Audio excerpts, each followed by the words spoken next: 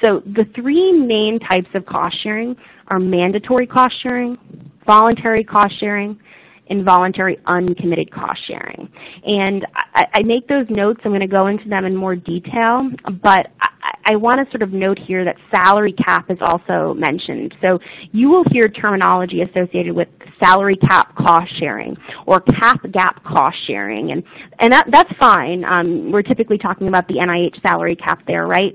Uh, but, but one notable item I want to highlight today is that technically we don't really necessarily want to view salary cap cost sharing as traditional cost sharing, right? Because for cost sharing to be considered allowable under a sponsored program, um, it needs to be an allowable cost on the sponsor budget side. And when you have a salary cap limitation, that is not an allowable cost on the sponsor side.